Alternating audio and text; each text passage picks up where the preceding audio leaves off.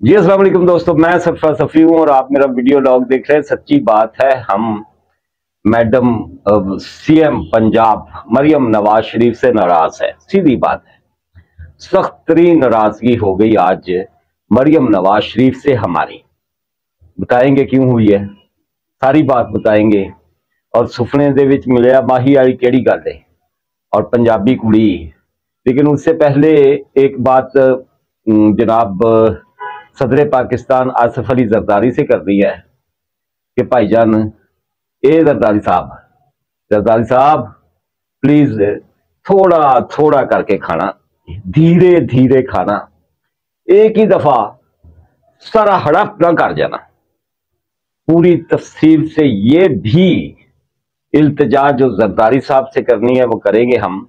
आ, और पूरी बात करने से पहले एक छोटी सी बात कि जनाब, मैं अक्सर ये बात कहता नहीं हूँ। बस याद ही नहीं रहता कि आपके जो कमेंट्स होते हैं, जो आपके लाइक्स होते हैं, वो मेरे लिए ऑक्सीजन है। और जब आप आप में से कोई भी दोस्त मेरे चैनल को सब्सक्राइब करता है तो बहुत ठंड पैदी ना पंजाबी में कहते हैं, ठंड पड़ती है। अच्छा लगता है। और बाज दोस्त जो है वो कहते होते हैं कि अनुजर साहबा ने आज मैसेज किया हुआ था। सॉरी मैसेज नहीं कमेंट किया हुआ था पिछले मेरे ब्लॉग पर कि तफी जी अपना फ़ोन नंबर भी जड़ा है वो भी दिया करो। तो मैं आपको बता दूँ कि मेरा फ़ोन नंबर डिस्क्रिप्शन में होता है। अगर किसी दोस्त को नज़र नहीं आता तो फिर आ, मतलब डिस्क्रिप्शन को आप पूरा देखें तो आपको मिल जाता है। और आजकल तो मैं अपना फ़ोन नंबर जो है वो कमेंट बॉक्स में भी लगाता हूँ इस इसलिए वो जो राशन का सिलसिला हमने शुरू किया हुआ है, वहाँ मैंने अपना एच बी एल बैंक का अकाउंट नंबर लगाया हुआ है। कमेंट में होता है सबसे ऊपर। साथ में इजी पैसा जैज कैश का नंबर होता है फ़ोन नंबर और वही फ़ोन नंबर जो है वो मेरा है, आप बात कर सकते हैं जिस दोस्त ने भी करनी हो। मरियम नवाज़ शरीफ से हम नाराज़ हैं। नाराज़गी खुल के बतानी है। उससे पहले आसफ अली जरदारी साहब से कहना है कि भाईजान, ए सरदार जी, ए सदर पाकिस्तान साहब, जरा थोड़ा थोड़ा करके खाना, ज़्यादा नहीं खाना। एक ही दफ़ा हड़प नहीं करना। आसिफ अली जरदारी साहब आज सदर पाकिस्तान हो गए हैं।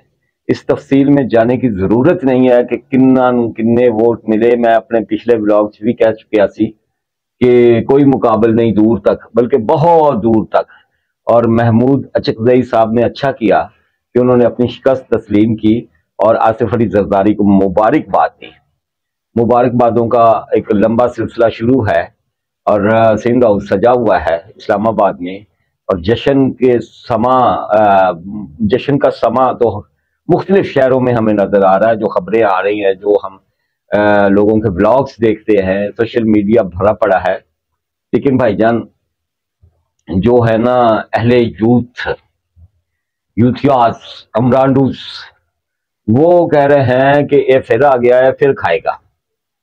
हाँ जी आसिफ अली जरदारी पर मुकदमात भी बहुत रहे। उन्होंने 11 साल जेल भी काटी बल्कि 13 साल अगर टोटल हिसाब किया जाए तो तेरह साल उन्होंने जेल काटी। उन पर करप्शन के बहुत इल्ज़ाम थे। मिस्टर टेन परसेंट थे फिर मिस्टर सेंट परसेंट हुए। आ, हमने ये सब कुछ देखा। उनकी सियासत भी देखी। सियासत के गुरु कितने हैं ये भी हम जानते हैं। बादशाह कितने हैं वो भी हम जानते हैं। हमने उन्हें बहुत मुश्किल में आसानियाँ निकालते हुए आसानियाँ पैदा करते हुए भी देखा। हमने शहीद बेनजीर भुट्टो तब मैं जर्नलिज्म में नहीं था बहुत छोटे थे हम। लेकिन सियासत का चस्का तो था ना, सियासत के तालब इलम तो थे, घर में सियासत सियासतदान मौजूद थे। सीधी बात है। तो हमने देखा कि अदम इतमाद की तहरीक है, शहीद बेनजीर भुट्टो के खिलाफ। और इस्टेब्लिशमेंट साथी है बीबी के मुखालफिन की डेफिनेटली मियाँ नवाज़ शरीफ एंड कंपनी इसके बावजूद आसिफ अली जरदारी जिस तरह से खेले और जिस तरह से तहरीक अदम अतमाद नाकाम बनाई वो हम सबने देखा और तहरीक अदम अतमाद की ही दूसरी बात मैं और करूँगा। थोड़ा थोड़ा करके खान वाली जड़ी इल्तजा की थी ये। इसलिए की है कि देखें जरदारी साहब आप पहले ही पीटीआई को सारा खा चुके हैं। मान लिया आपके खिलाफ करप्शन के जितने केसेस थे वो उनमें से कोई आ, किसी में आप सजा याफ्ता नहीं है किसी का प्रूफ नहीं मिला। आपने तेरह साल जेल काटी है, इसमें कोई शक नहीं है। लेकिन आप पर कोई मुकदमा साबित नहीं हुआ, आपको पनिश नहीं हुई, एक मुकदमे में हुई थी। ये भी मैं आपको बता दूँ, मलिक कयूम होते थे मरहूम। याद आ गया। वो वज़ीर कानून भी रहे जनाब परवेज मुशर्रफ के। जस्टिस मलिक कयूम को ये जो शहबाज शरीफ साहब है, आपके प्राइम मिनिस्टर, हमारे साहब के प्राइम मिनिस्टर इनकी नवाज़ शरीफ की बड़ी लगती थी ना आसफ अली जरदारी के, के साथ और बीबी बेनजीर के साथ। इनकी एक ऑडियो टेप पकड़ी गई थी शहबाज शरीफ साहब की के जरदारी तोड़ दे। इंटरनेशनल पासपोर्ट और ये वो मलिक कयूम को जस्टिस कयूम को कहा गया था लालिश दिया गया दिया गया था। और ये ये फलाम रात भी आपको मिलेगी सजा दे देनी। तो उसने सजा दे दी थी तो ननकाना साहब का एक नौजवान बैठा हुआ था। ये जो पीटीसीएल का ऑफ़िस है जहाँ कॉल्स सारी अगर किसी कॉल का रिकॉर्ड रिकॉर्ड लेना हो ये वो तब मोबाइल फ़ोन तो नहीं थे। वहाँ बैठा हुआ था उसने सारी वो दास्तान सुन ली वो फ़ोन कॉल सुन, सुन ली और वो टेप में लेके छुपता छुपाता निकल गया दुबई बीबी बेनजीर के पास। बीबी बेनजीर ने वो टेप चला दी इंटरनेशनल मीडिया के सामने। शहबाज शरीफ की और मलिक यूम की, जस्टिस मलिक यूम की गुफ्तगु की वो ऑडियो टेप बीबी ने चला दी इंटरनेशनल मीडिया के सामने और बड़ी प्रेस कॉन्फ्रेंस कर दी, जिस पर जस्टिस मलिक यूम की जजी खत्म हो गई। हाँ जी। उन्हें उल्टा उन्हें पनिश कर दिया गया, उन्हें जज के अहदे से हटा दिया गया और आसिफ अली जरदारी के खिलाफ वो मुकदमा भी खत्म हो गया।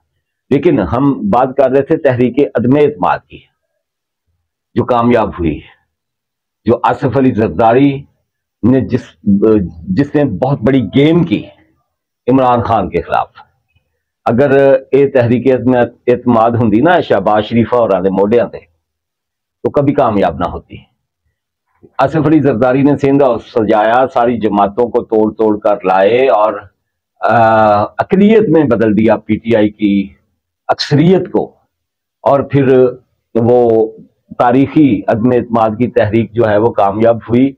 उसके बाद आरफ अलवी ने जो किरदार अदा किया, बतौर सदर, वो वो भी हमारे सामने इमरान खान ने जो किरदार अदा किया असम्बलियाँ तोड़ दो, वो भी हमारे सामने फवाद चौधरी की वो तकरीर भी हमारे, हमें सब याद है कि जिसमें उसने फड़का के रखने की कोशिश की थी तहरीकियत में इतमार को, फड़काया था और इमरान खान ने असम्बलियाँ तोड़ने की, समरी भेज दी थी फौरी तौर पर आरफ अलवी को।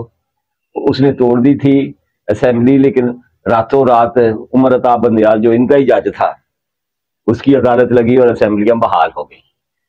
खा गया सी आसफ अली जरदारी पीटीआई पीटीआई तब से लेकर, उस सिंध हाउस की सजावट से लेकर, आज फिर सिंध हाउस सजा हुआ है ना?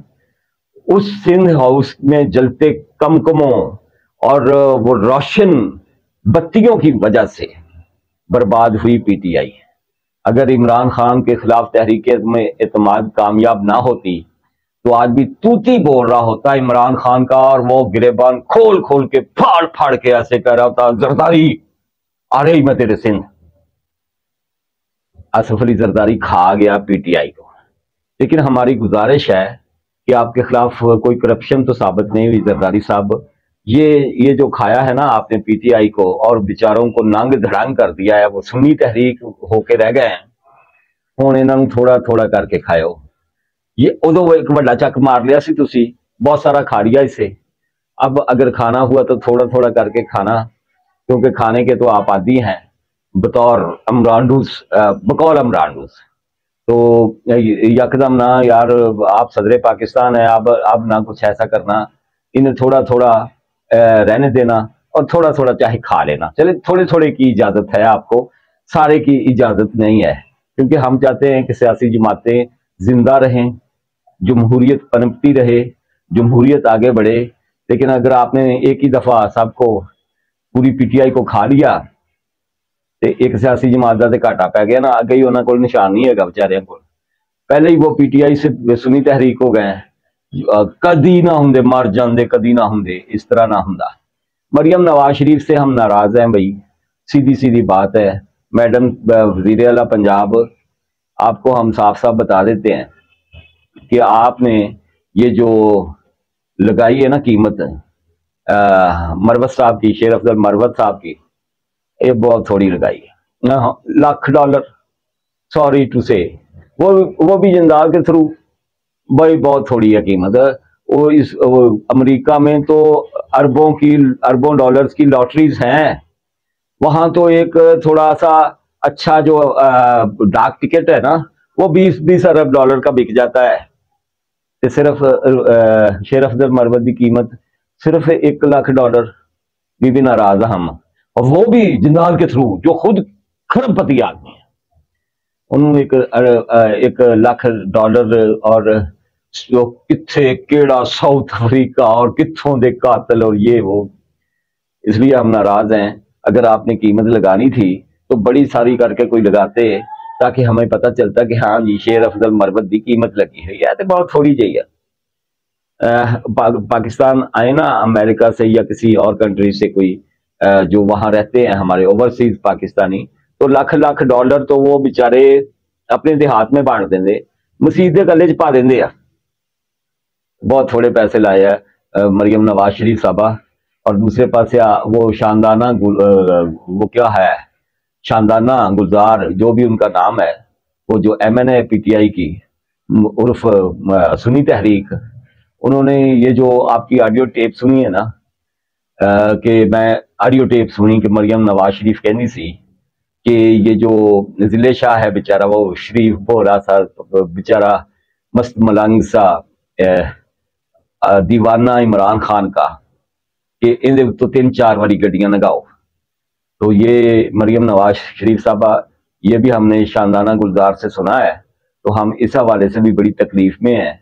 आपने अगर गड्डियाँ लगाने का कहना था तो अगर कोई बारी पीटीआई या किसी बड़े अमरानडू की बात होती तो कोई और बात थी, हमें बड़ा गुस्सा चढ़ा कि आपने एक मस्त कलंदर से, एक दरवेश, एक मस्त से, एक बड़े मजजूब से जिसका कत्ल अभी तक हमें नहीं भूल रहा, ज़िले शाह का यह बड़ी ज़्यादा वाली बात है। शानदार गुलजार की पेशी है। वहाँ एफ़ आई ए में, चौदह मार्च को लाहौर में और सत्यानु भी पता है, सानू भी पता है। कोई टेप शेप नहीं है सीधी बात है।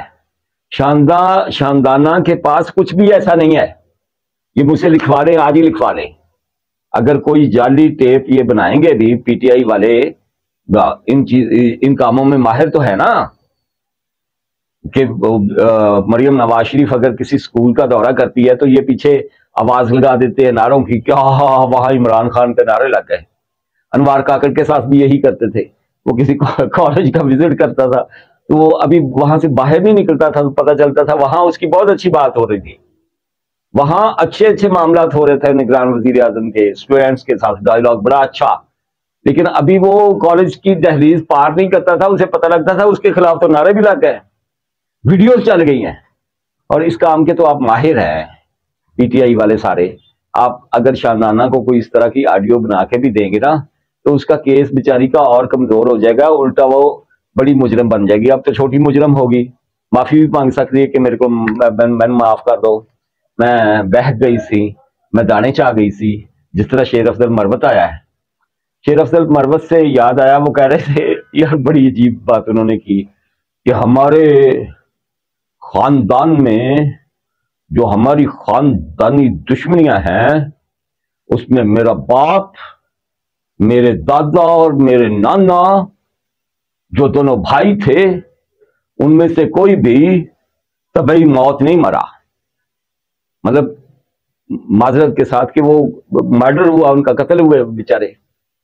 तो अगर इस तरह के कुछ मामला हैं, अल्लाह माफ़ करे, दुश्मनियाँ बहुत बुरी होती हैं, और इनसे अवॉइड करना चाहिए, और बदले की आग बहुत खौफनाक होती है तो मरवत साहब आप खुद आप ही ठीक हो जाइए यार।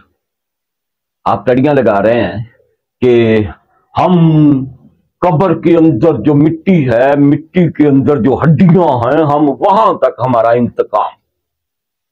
यार ये ये किसी फ़िल्म का डायलॉग भी नहीं बनता, मरवत साहब।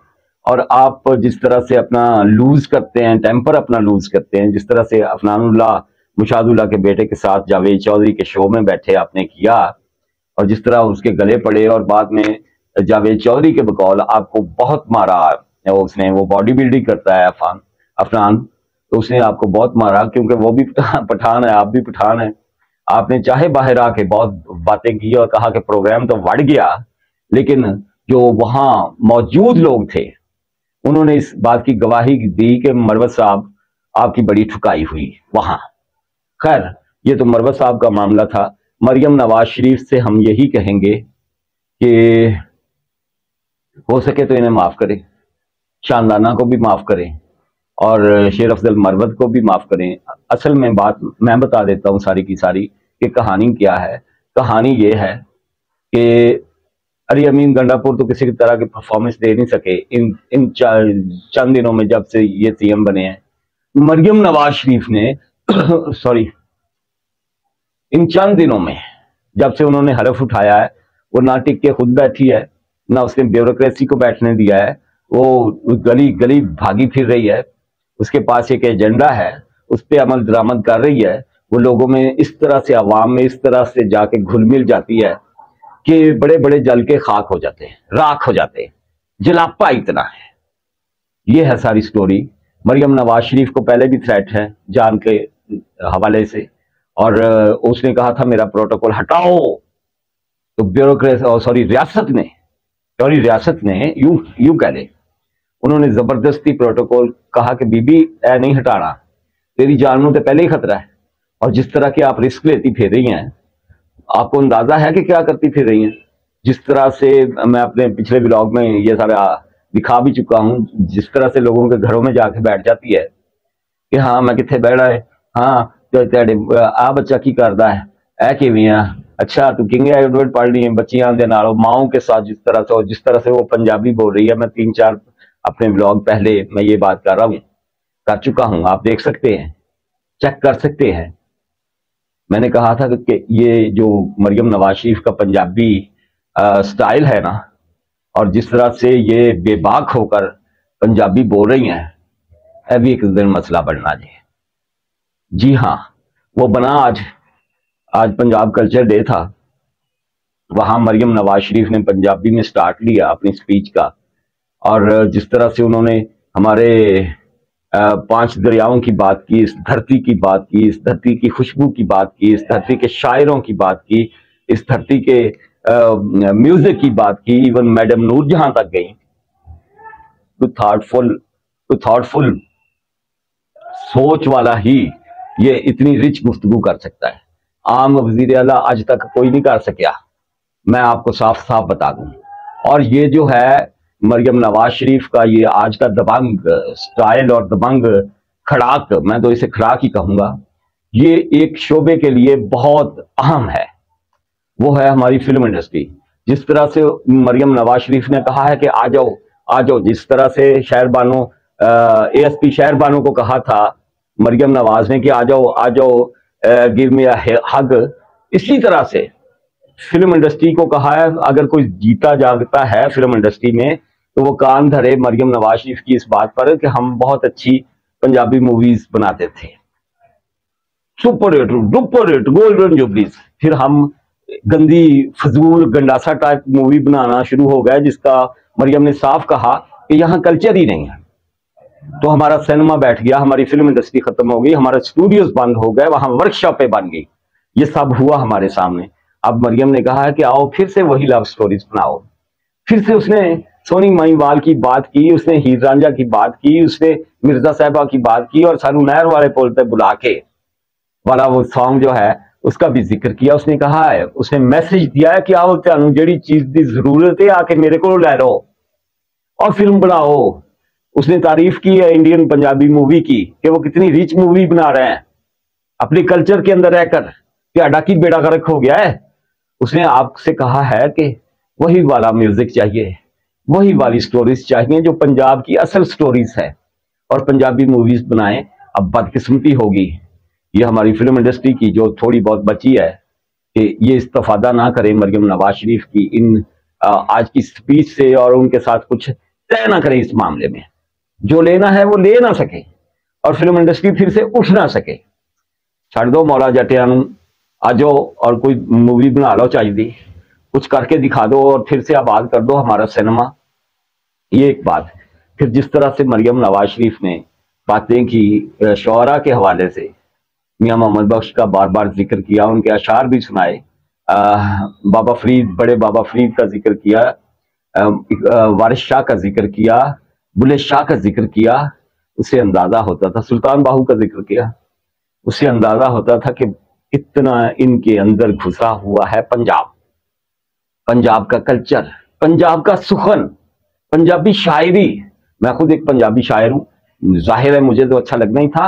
आम लोगों को भी, आम पंजाबियों को भी अच्छा लगा और जिस तरह से उसने माओ को कहा कि बस करो उर्दुआ बोलनिया बच्चों इन्हें अपनी माँ बोली, बोलने दें। माँ अगर नहीं भी डांटेगी माँ अगर डांटना बंद कर दे ना ना सिखाए पंजाबी। अल्लाह की कसम बच्चों को खुद आती है, वैसे ही आती है।